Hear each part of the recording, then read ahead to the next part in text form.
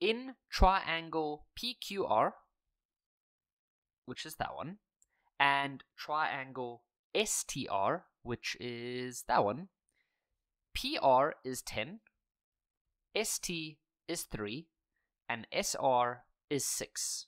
Okay, so everything's, they've given us that. Then it says, for 4 marks, show that this. Okay, now, they said PQR, and then they've got three lines going that way.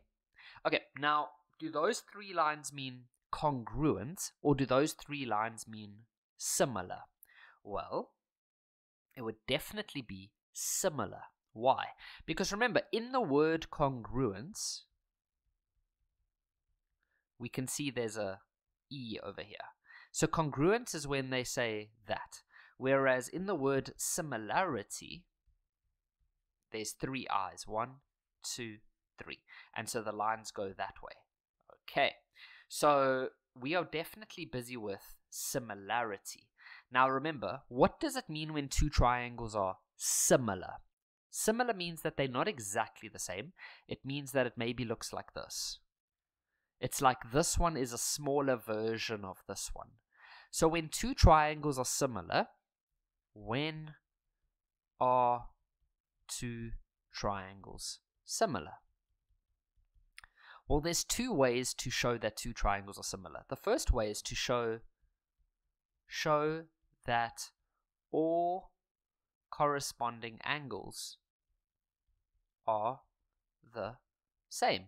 For example, if this is 40 and this is 40, this is 70, then this is 70, or let's actually choose a different number. Let's say 60, then this is 60, and then this would have to be 80, and then this would have to be 80. So if those are all, you see how these two are the same, and then those two are the same, and then those two are the same. So if that happens, then they are similar. What do I mean by corresponding? I'm just saying all the matching angles are the same. Show that all corresponding, sorry, angles.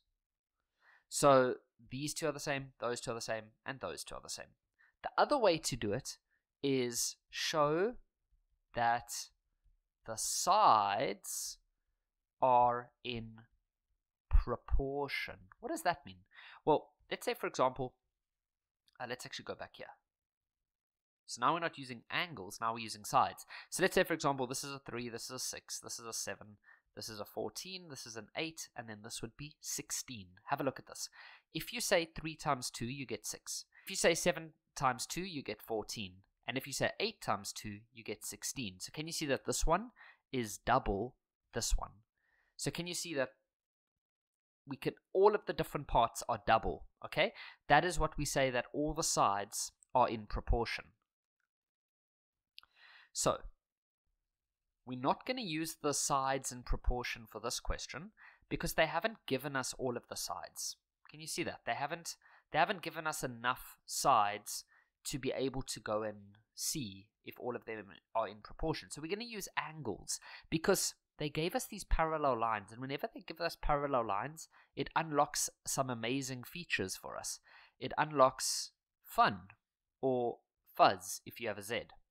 So whenever you have parallel lines, then let's rather use the U like that. Then we must remember that we've got these things that we can use. So what we're going to do, remember I said there were two things here. I said that we could either use angles or sides. And when I said angles, I said all of the angles, the corresponding angles must be the same. So let's go see if we can make the angles the same. So for example, we know that this angle, sorry, this is meant to be R2 over here. I don't know why that was like that.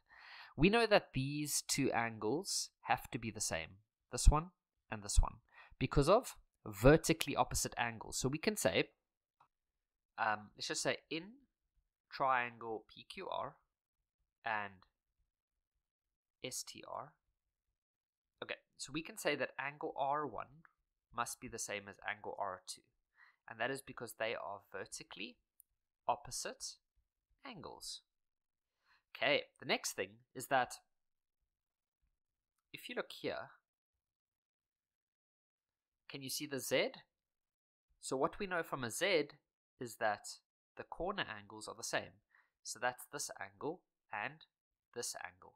So we could say that angle P is the same as angle S, and that is because these lines are alternating. So we could say alternating angles, and that is because the, the side QP is parallel to ST. For the next one, there's two different ways you could do this. You could either use parallel lines again by going that way. So you could say that these two are the same. Your other option is that well, yeah, I think that's actually the best one. If for those of you that want to try another way, you could also say because of the sum of angles in a triangle. But if that doesn't make sense, then just ignore what I just said. So let's block this out. So we're going to use parallel the other way. So we're going to say Q is the same as T, and it's the same reason. Um, QP parallel to ST. So there we've done it. We've showed all three angles. We're not saying that all angles are the same. We're just saying that those two are the same. Those two angles are the same. So this one and this one. And then we're saying those two angles are the same. So all of the matching ones are the same. So therefore, the two triangles, PQR, are similar. And the reason is because, why? Was it all the sides? No, it was all of the angles. Angle, angle, angle. Then, now, remember, this is important. Are these two triangles now similar? Yes. And what did we say about similar triangles? Remember, I wrote it over here earlier. Let's take all of this away. We said when two triangles are similar, then, number one, or corresponding well, let's rather use the word matching because when I say corresponding, some of you might think I'm talking about this because F is also corresponding. All matching angles are the same. Number two, all matching sides, they're not the same, but they are in proportion, are in proportion for example, remember if I have if I have two triangles, and this is a 3, this is a 6, this is a 7, this is a 14, this is a 8, and this is a 16. We're not saying that they're all the same, but we're saying that they're all in the right proportion. Can you see that this one is double this one? Okay? So, we just proved in this question that these two triangles are similar. So that means that these two, that means that both of these are true. So now we can go to this one and all the matching sides are in proportion because these two triangles are similar. Now to work out your proportions very easily, you're going to take this, okay, and you're going to make some proportions. What do I mean? Take the first two letters, and then take the first two, then take the second two, and take the second two, then take the first and the last, and then take the first and the last. Then what I want you to do, well, we actually have to give a reason for what we just said over here. The reason is that the triangles are similar, but your teacher, there's so many different ways of teachers writing this. You could use, so just see what your teacher says. Some teachers will just say proportional over here. Some teachers will say corresponding sorry, some sorry, they won't. They'll say um, it's because these triangles are similar. So they'll say similar triangles, or some teachers will say corresponding sides in proportion. So just check what your teacher says. Okay, I know that on this memo they say proportional. So now uh, go full in whatever you can here. So PQ, do we know what PQ's length is? No. Do we know ST's length? Yes, we do. So that's 3. You don't have to say 3 centimeters, just say 3. Uh, QR, we don't have. And then TR, we don't have. And then PR is 10. And SR is 6. Okay, now, I don't want you to choose this one. This is an ugly one. Why? because we don't know two of the things. So leave that one out. Just leave it out. Just ignore it completely. Now you just have that.